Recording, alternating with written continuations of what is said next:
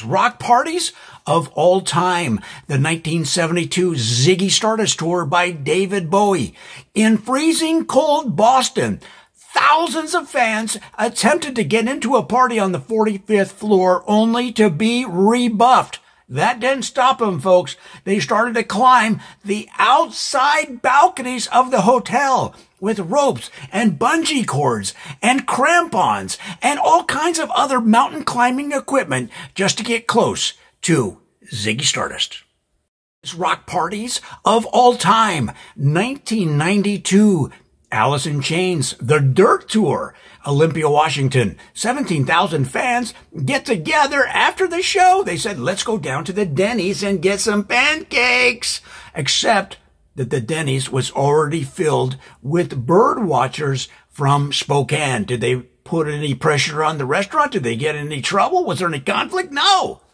All the Alice in Chains fans did was go down to the beach, smoke a bunch of peyote, and watch the sun come up.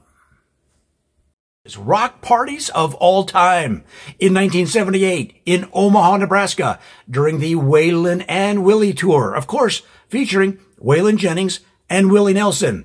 Now, before the show, so much marijuana was smoked in the parking lot that a huge cloud filled Omaha and then spread throughout the state of Nebraska. And every single cow in the state went through one month worth of their feed in 48 hours.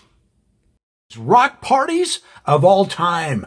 REM in 1992 during the Automatic for the People tour in Albuquerque, New Mexico.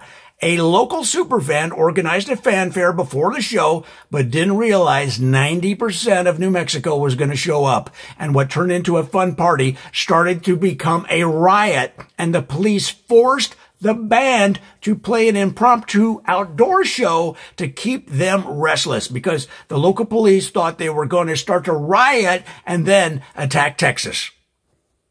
Rock parties of all time, Portland, Oregon, 2005, Fall Out Boy during their From Under the Cork Tree tour had in Portland one of, if not the biggest Fall Out Boy fan club in the world called the Fallouters.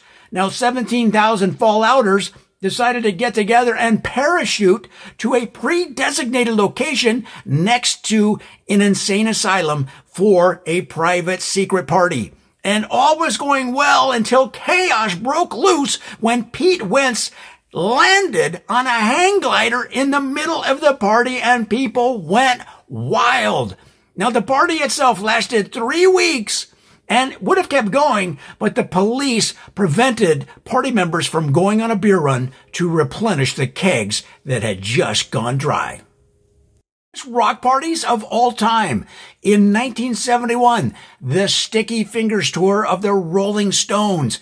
After their last Manhattan appearance, there was a rumor there was going to be a wild party at the Central Park Hilton. Hundreds of thousands of fans descended upon Manhattan, so many so that bodies were pushed into the ocean and thousands had to swim across the Atlantic Ocean to save their own lives.